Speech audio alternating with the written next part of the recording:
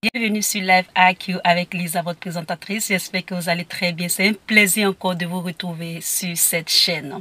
L'Afrique du Sud rappelle son ambassadeur d'Israël au Proche-Orient.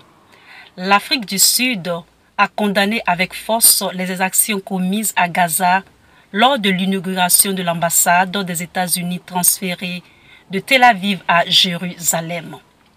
52 Palestiniens étant morts a dénoncé l'Afrique du Sud et le ministre des Affaires étrangères demande à, a demandé à son ambassadeur de se retirer de la bande de Gaza. Il faut savoir que le mouvement palestinien et le mouvement anti-apartheid de l'Afrique du Sud est très, euh, est très proche. Et Nelson Mandela a, euh, entraîne de son vivant entraînait des relations très proches avec le mouvement palestinien, c'est-à-dire l'ANC.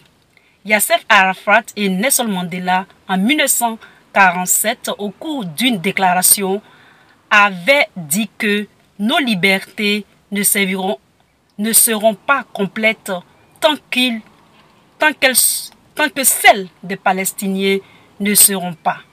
Alors, certains s'indignent à ce sujet des droits de l'homme et par contre c'est s'y rallient, c'est-à-dire quand il s'agit des droits quand il s'agit des droits de l'homme. Merci et à très bientôt. Bye.